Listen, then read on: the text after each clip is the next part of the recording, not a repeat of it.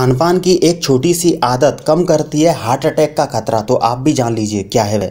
Heart failure तब होता है जब हार्ट शरीर की मांग के अनुसार प्रभावी ढंग से खून को पंप नहीं कर पाता है। इसकी वजह से शरीर को आवश्यक पोषक तत्व और ऑक्सीजन नहीं मिल पाता है।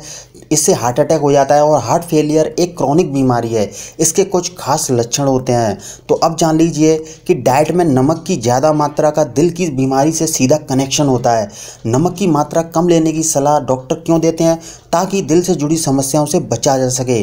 कम सोडियम डाइट वाले मरीज़ जो अस्पताल में भर्ती होते हैं, जो काफ़ी जल्दी ठीक हो जाते हैं और जो ज़्यादा मात्रा में सॉल्ट का प्रयोग करते हैं, खाने में नमक का प्रयोग करते हैं उनको हार्ट फेलियर हो जाता है। तो आप जान लीजिए कि हार्ट फेलियर के आपको क्या क्या लक्षण दिखेंगे आपकी बॉडी में।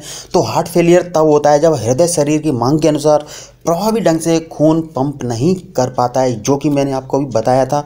तो देखिए, सांस की तकलीफ़ हो जाती है, आपको लगातार खांसी या घबराहट रहती है। तरल पदार्थ की वजह से आपको सूजन रहती है बॉडी में। बहुत ज़्यादा थकान महसूस होती है, दिल की धड़कन तेज़ हो जाती है और अक्सर हार्ट फेलियर की समस्या वालों को कम नमक की सलाह दी जाती है। इसके पीछे ये वजह है कि सोडियम की मात्रा कम करने से हार्ट फेलियर वालों में बहुत ज़्यादा फ्लूड बनने से रोकती है।